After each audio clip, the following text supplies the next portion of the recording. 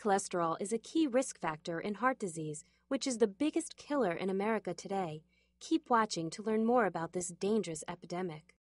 Cholesterol is a fat like substance that's produced naturally by the body and is also ingested from food.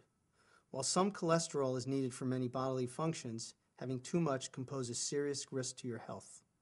Cholesterol is carried through the body by cells called lipoproteins.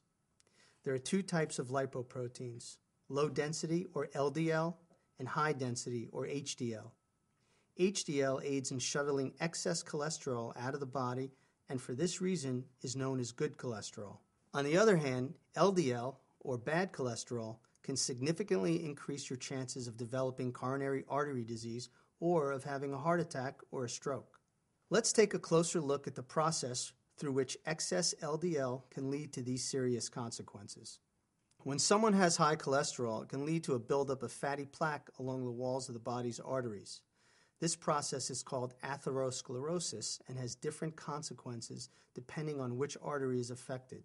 When atherosclerosis occurs in the coronary arteries leading to the heart, the flow of vital, oxygen rich blood to the heart is restricted. This is called coronary artery disease, a condition suffered by 7 million American adults.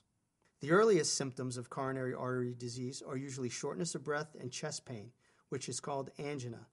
Episodes of angina most commonly occur after physical exertion, when the heart's need for oxygen is increased beyond what can be provided by the restricted blood flow. Sometimes the buildup of plaque is so severe that the arteries become completely blocked, cutting off blood flow to the heart. This causes the death of heart muscle cells, which is called a heart attack.